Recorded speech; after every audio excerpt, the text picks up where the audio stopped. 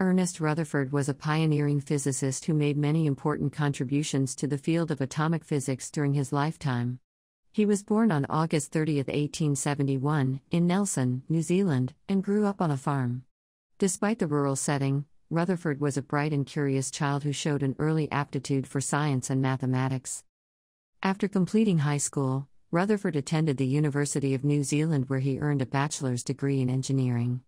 He then went on to study at the University of Cambridge in England, where he earned a master's degree and later a doctorate in physics.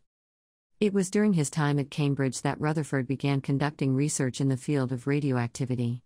This was a new and rapidly evolving field, and Rutherford was quickly recognized as one of its leading lights.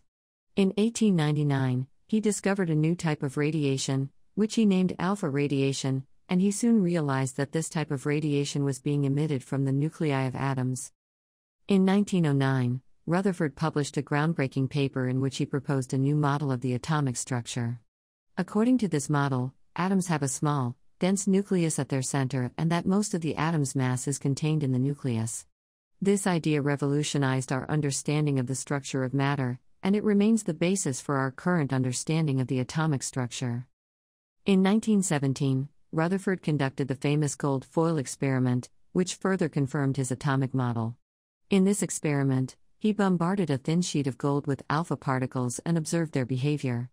The results of this experiment showed that the positive charge in an atom is concentrated in a small nucleus and that the electrons are located in the space surrounding the nucleus. This experiment provided strong evidence for the existence of the atomic nucleus and the electronic structure of atoms. Rutherford was also involved in early research on nuclear reactions and is credited with discovering the first artificial transmutation of an element. This discovery paved the way for the discovery of nuclear energy and the development of nuclear weapons. Throughout his career, Rutherford received numerous awards and honors for his work, including the Nobel Prize in Chemistry in 1908.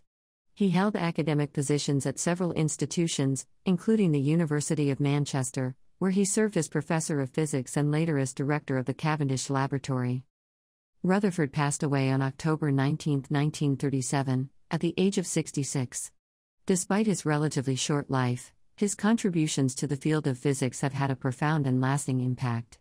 He is widely regarded as the father of nuclear physics, and his work continues to be highly regarded and studied by scientists and students around the world.